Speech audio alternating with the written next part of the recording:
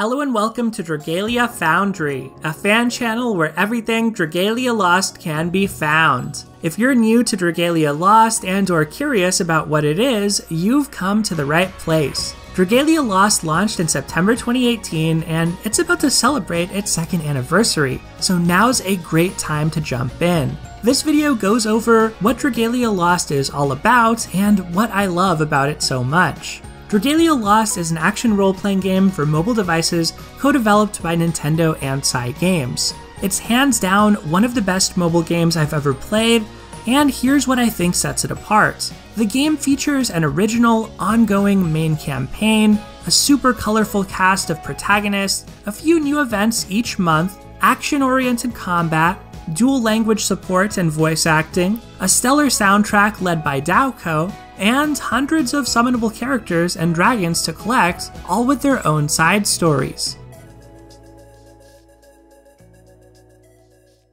The biggest draw to Dragalia, in my opinion, is its co op gameplay and combat system, which is most akin to something like Monster Hunter, just optimized for a mobile platform. In Dragalia Lost, all adventurers have basic attacks which can be used to charge up special skills unique to them, and by dealing damage over time, they build up a gauge that lets them shapeshift into a dragon. Up to four players each bring their own characters into battle against dozens of bosses, each of whom have their own attack patterns and special abilities. In some instances, Dragalia branches out with its quest design to wave based and defensive battle modes, which are more reminiscent of a Musou or Warriors game, while at other times it scales up its bosses to a larger than life raid size where up to 16 characters try take on the boss at once. The core of combat is simple do basic attacks until you charge up your skills, dodge your enemies, and win as a team. But the pace of battle and variety of foes and bosses you face keeps things feeling fresh. Dragalia's main campaign is lengthy and there's tons of side content to dive into on a permanent basis. The game's set in a post-apocalyptic world steeped in lore in which politics are afoot and humans and dragons coexist. As you play through the main story, you'll learn more about the game's RPG mechanics, which include three types of gear weapons, wyrmprints, and dragons, a customizable castle known as the Halidom, and more. The game includes a roadmap for new players called the Royal Regimen, with tasks to help you get started exploring all it has to offer. I recommend beginners start with the story until finishing Chapter 7, after which point many side quests and modes open up. These include quests designed for daily play where you collect resources to power up your characters, a mode with unique bosses called Void Battles, an archive of past limited time events, and several other quests, including sets of endgame bosses who can be fought repeatedly to craft some of the strongest gear in the game. Almost all quests in Dragalia Lost can be played either in co op or single player with very few exceptions.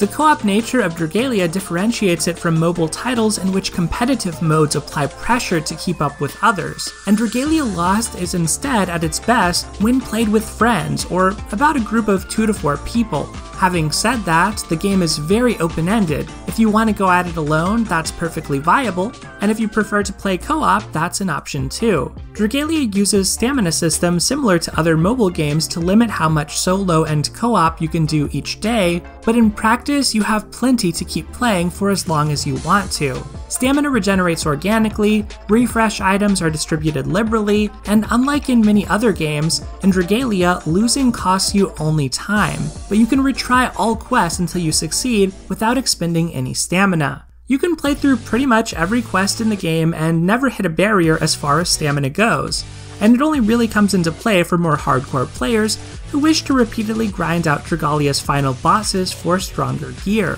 For those seeking that repeated challenge, it's available but not required. Many players enjoy Dragalia most as a side game and treat the endgame more as one and done type content. In fact, that might be the game's biggest weakness. It's more like a traditional game than a mobile title in the sense that you can reach a point of completion with frequent play, then kind of run out of things to do for a while. I'd say Dragalia is best enjoyed slowly and savored, even if you technically can rush through its early game. The game's dev team is very responsive to community feedback, and frequent quality of life updates have made the new player experience smoother and faster than it's ever been.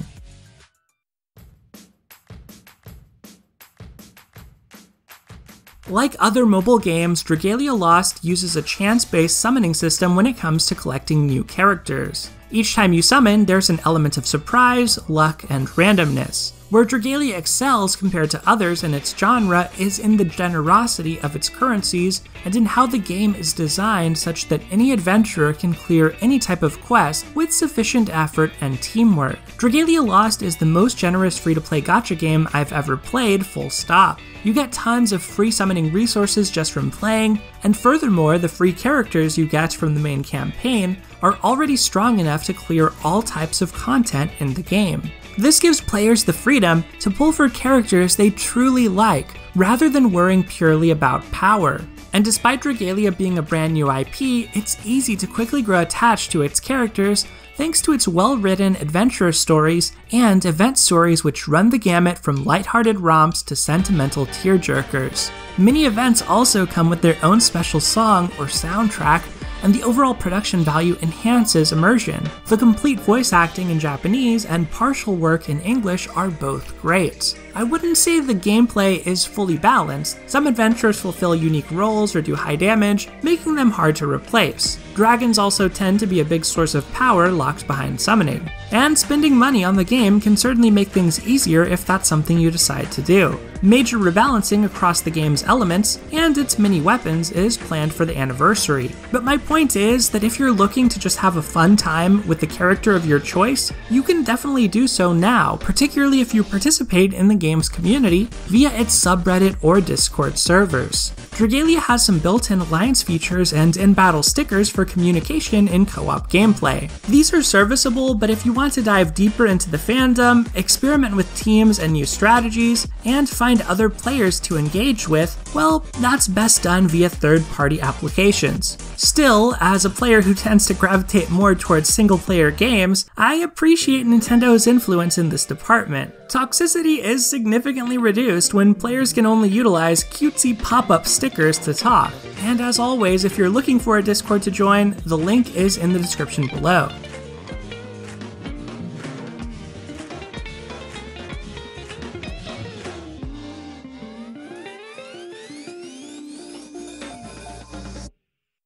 Ultimately, Dragalia Lost isn't a perfect game, but I think it's one of the best executed within its genre, and it's more worth your time than ever if you're looking for a mobile title to really sink your teeth into. Between its deep combat, lush presentation, and intriguing characters, Dragalia Lost has something for everyone to enjoy. Two years since its release, it's clear that Dragalia Lost dev team has listened to player feedback and streamlined its systems, all while maintaining a generous, accessible stance toward its community. All in all, I sincerely hope you'll give Dragalia Lost a try and that you have a wonderful experience with it. Being a part of this game and community via YouTube has been a blast over the past two years, and I'm excited for what's to come. Thank you so much for watching, take care, and I'll see you next time.